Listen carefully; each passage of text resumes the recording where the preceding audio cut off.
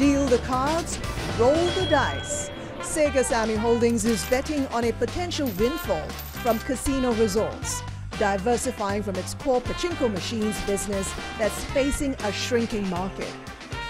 Pachinko business itself is very lucrative, so the cash cow business for us, even though the growth we not expect a lot. So the company took a gamble on resorts in South Korea by acquiring Phoenix Resort and opening Paradise City in Incheon in partnership with Paradise Group. Is this where the big money is going to be for Sega Sammy? Is this your next pillar of growth?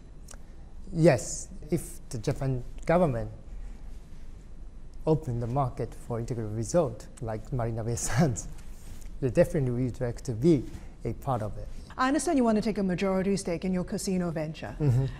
Who are your likely partners? Yeah, we were quite open to be a partner with anyone. Then what I, we publicly say right now is, since it's in Japanese project, Mm-hmm. we'd like to be a lead.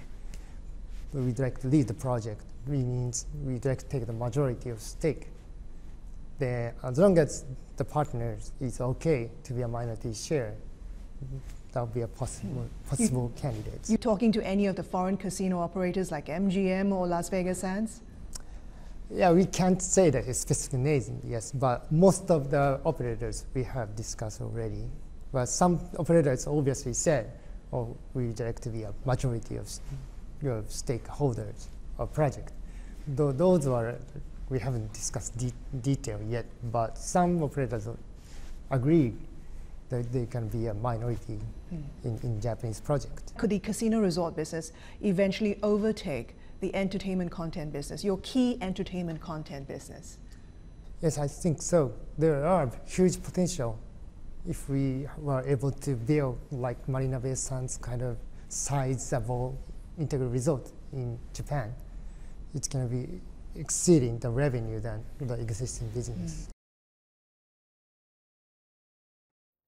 Hi, I'm Christine Tan, and thanks for watching Managing Asia on CNBC Life. You can check out more of our great content by clicking on the videos on screen. And don't forget to subscribe to our channel for the very best in feature programming. Thanks for watching.